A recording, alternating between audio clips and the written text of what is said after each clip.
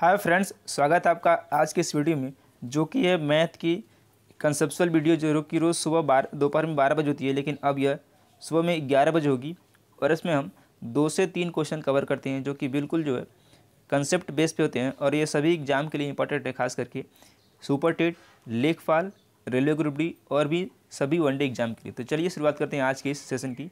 महत्वपूर्ण क्वेश्चन है, इसको ज़रूर देखिएगा। एक व्यक्ति ग्यारह केले दस रुपये में ख़रीदता है और ग्यारह रुपये में दस केला बेचता है। इसका लाभ प्रतिशत कितना बताना है बताना है? तो इसको लगाने के लिए आपको कोई फार्मूला यूज़ नहीं करना है। इस तरफ़ आप लिखेंगे संख्या, यानी कि वस्तुओं की संख्या, और इस तरफ़ लिखेंगे दाम, यानी कितने में वो बेचा या खरीद रहा है। तो सबसे पहले क्या कर रहा है वो? ग्यारह रुपये में दस केला खरीद रहा है। तो इधर लिखेंगे आप ग्यारह और इधर लिखेंगे दस, यानी कि ग्यारह केला दस रुपये में खरीद रहा है, और वो बेच कितने में रहा है? वो दस केला ग्यारह के भाव से बेच रहा है। अब क्या करना आपको? इसकी इस तरफ़ मल्टीप्लाई करना है, और इसका इस तरफ़। कितना हो जाएगा? एक सौ इक्कीस और दस दही में सौ। अब दोनों का अंतर कितना आ रहा है?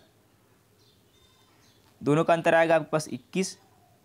इक्कीस अंतर आएगा तो आपको लिखना क्या है? इक्कीस।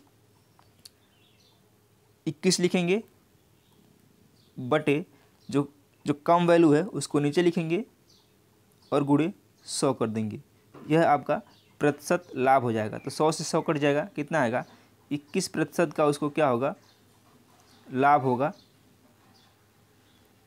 जो कि ऑप्शन नंबर बी में दिया गया। है दोबारा देखिए, इस तरफ़ आप लिखेंगे संख्या, इस तरफ़ लिखेंगे दाम। ग्यारह केला खरीद रहा है दस रुपये में, और बेच कितने में रहा है? दस केला बेच रहा है ग्यारह रुपये में। अब इसको आपको क्रॉस मल्टीप्लाई करना है, ग्यारह गुड़े ग्यारह करेंगे तो इक्कीस इक्कीस आएगा और दस गुड़े दस करेंगे तो सौ आएगा। अब दोनों का अंतर कितना है? इक्कीस है, यानी कि इक्कीस का उसको लाभ हो रहा है।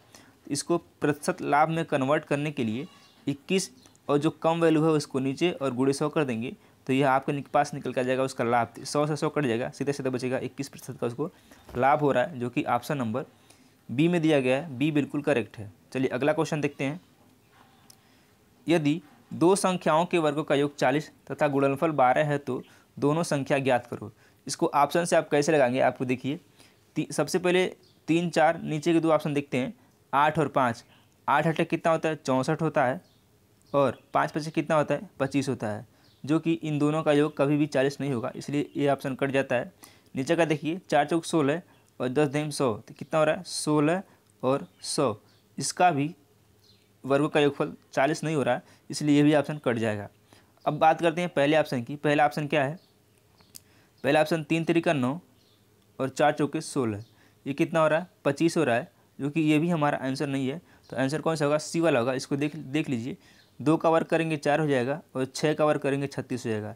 छत्तीस और चालीस चार जोड़ेंगे तो कितना हो जाएगा? चालीस हो जाएगा, जो कि हमसे यही पूछ रहा था कि दोनों संख्याओं के वर्गों का कितना चालीस है। तो ऑप्शन नंबर बी साफ़ साफ़ दिख रहा है। बी बिल्कुल करेक्ट है। तो चलिए अगला क्वेश्चन देखते हैं।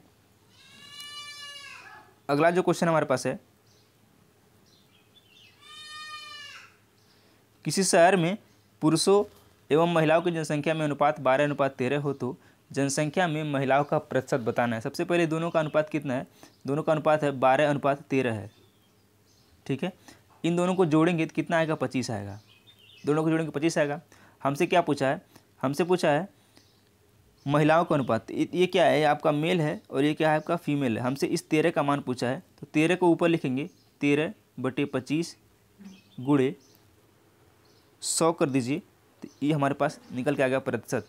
सौ इसलिए हमने गुड़ा किया कि इसको प्रतिशत में कन्वर्ट करने के लिए। पच्चीस से कम पच्चीस पच्चीस सौ का सौ।